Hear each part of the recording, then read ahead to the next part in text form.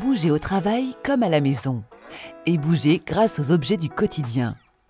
Pour bouger, il n'est pas nécessaire d'investir dans du matériel onéreux et encombrant, ni dans un abonnement à la salle de sport.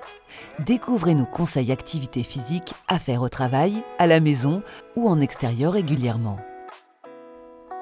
Exercice de renforcement de ceinture dorsale et abdominale à l'aide d'une chaise.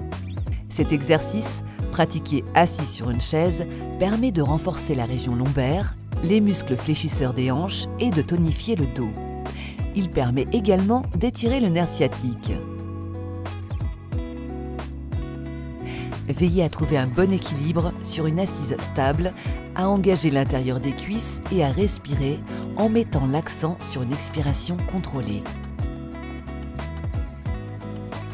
Cet exercice, pratiqué à l'aide d'une chaise, permet de renforcer la ceinture des muscles lombaires ainsi que la ceinture abdominale. Veillez à garder une sensation de longueur au niveau de la colonne vertébrale. Engagez les fessiers ainsi que les cuisses tout en maintenant une respiration confortable.